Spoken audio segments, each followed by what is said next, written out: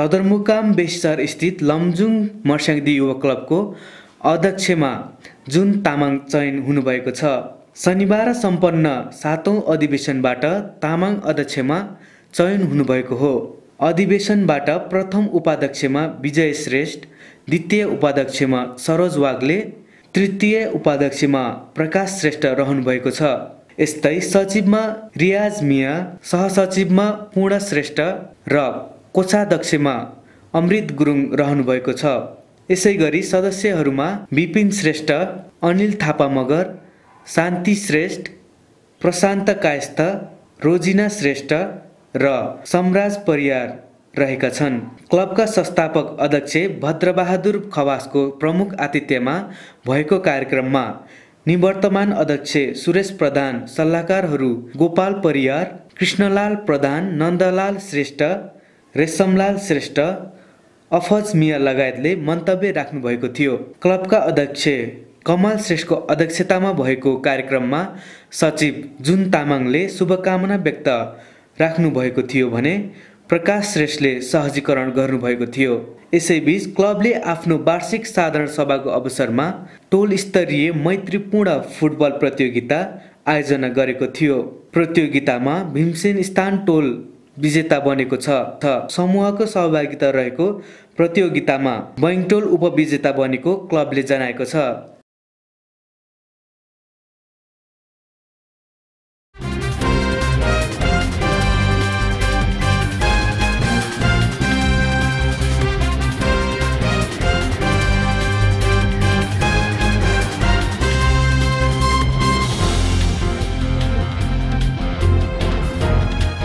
लमजुङ सदरमुकाम बेसहरमा राजस्व सुधार कार्ययोजना तर्जुमा सम्बन्धी कार्यशाला गोष्ठी सम्पन्न भएको छ।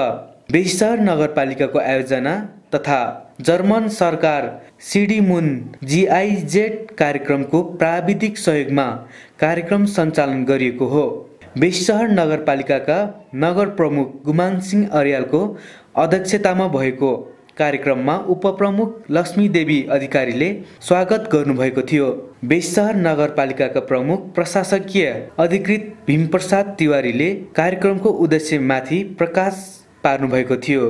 बेसहर नगरपालिकाका प्रमुख उपप्रमुख वडाध्यक्षहरू कार्यपालिका सदस्यहरू राजस्व परामर्श समितिका सदस्यहरू वडा सचिवहरू राजस्व कार्यालय यातायात कार्यालय मालपोत कार्यालय मार मालपोत कार्यालय लगायत सरकारवाला निकायका प्रमुख एवं प्रतिनिधिहरूको सहभागिता रहेको थियो। गोष्ठीमा नगरपालिकाको राजस्व अधिकार तथा राजस्व सुधार योजनाको औचित्यको बारेमा सङ्घीय मामिला तथा स्थानीय विकास मन्त्रालयका उपसचिव विष्णुदत्त गौतमले प्रशिक्षण दिनुभएको थियो। कर शुल्क तथा दस्तुर सम्बन्धी अवधारणा र सिद्धान्तको बारेमा स्कोलर नेपालका परामर्शदाता शेषरमड नेउपानेले प्रशिक्षण दिनुभएको थियो।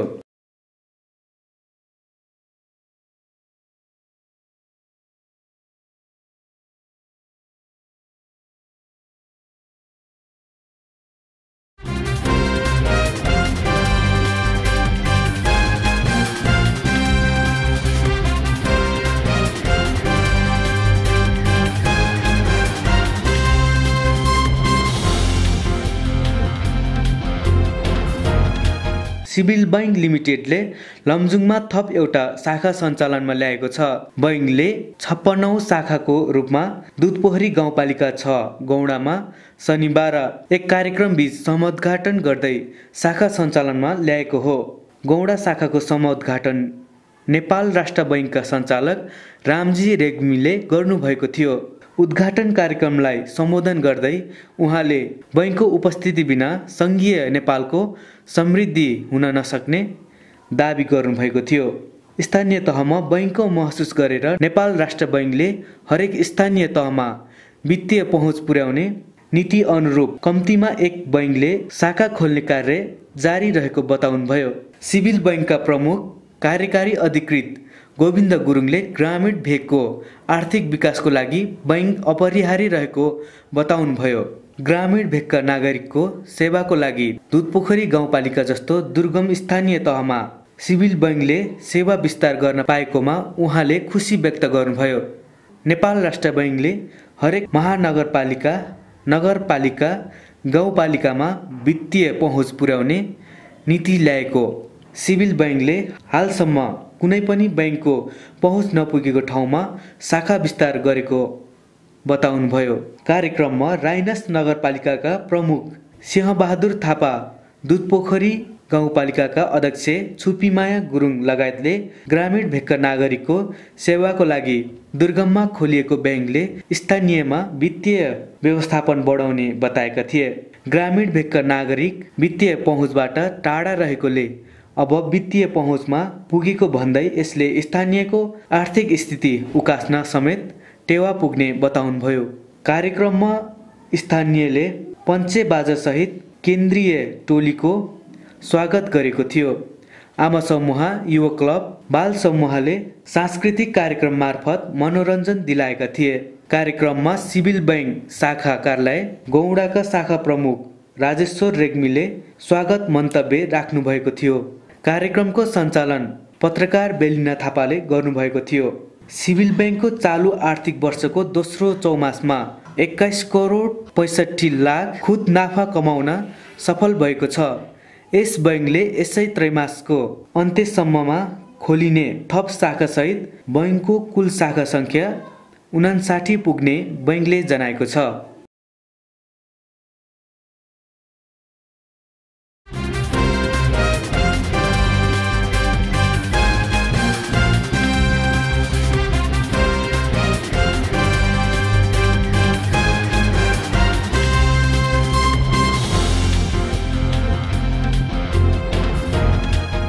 प्रेस काउन्सिललाई सङ्घीय संरचना अनुसार अघि बढाउन काउन्सिलको बैठकले एक कार्यदल गठन गरेको छ। लमजुङको पर्यटकीय गाउँ काउले पानीमा शनिबार भएको बैठकले काउन्सिललाई सङ्घीय संरचना अनुसार अघि बढाउनु पर्ने आवश्यकता औल्याउँदै काउन्सिलका सदस्य एवं नेपाल पत्रकार महासङ्घका अध्यक्ष गोविन्द आचार्यको संयोजकत्वमा पाँच सदस्यीय कार्यदल गठन गरेको हो। कार्यदलमा काउन्सिलका सदस्य सुदर्शन आचार्य नवल किशोर यादव शुभेच्छा बिन्दु तुलाधर र खिलबहादुर भण्डारी रहनु भएको छ।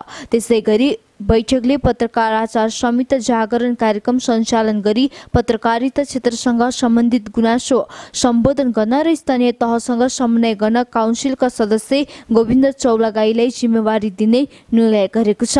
प्रेस काउन्सिल नेपालका कार्यवाहक अध्यक्ष किशोर श्रेष्ठको अध्यक्षतामा भएको बैठकले पर्यटकीय गाउँ काउलेपानी लगायत लमचुङका सबै पर्यटकीय गाउँको विकास र प्रवर्धनका लागि काउन्सिलले पहल गर्ने समेत निर्णय गरेको सूचना विभागका महानिर्देशक संयोजक एवं काउन्सिलका सदस्य सचिव वीरबहादुर राईले जानकारी दिनुभयो। प्रेस काउन्सिल नेपालको बैठकको स्थानीय संयोजन र व्यवस्थापन बेसी सहर नगरपालिकाले गरेको हो। बेसी सहर नगरपालिकाको वडा नम्बर तिनमा पर्ने नेपालकै उत्कृष्ट पर्यटकीय गाउँ काउले पानीको थप प्रबन्धन र विकासका लागि भन्दै बेसी सहर नगरपालिकाले बैठकको व्यवस्थापन गरेको बेसी नगरपालिकाका प्रमुख गुमन सिंह अर्यालले बताउनुभयो।